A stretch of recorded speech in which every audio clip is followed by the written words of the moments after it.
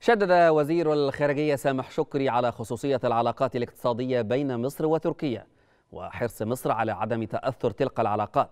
وقد أوضح شكري أن التبادل التجاري بين البلدين وصل إلى 9 مليارات دولار خلال السنوات السابقة لافتا إلى وصول الاستثمارات التركية في مصر إلى 2.5 مليار دولار.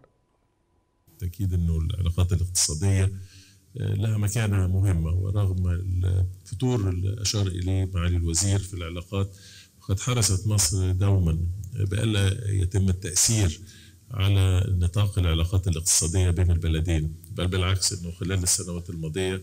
نمت هذه العلاقة حتى وصل التبادل التجاري فيما بيننا إلى حوالي 9 مليار دولار وهذا مقدار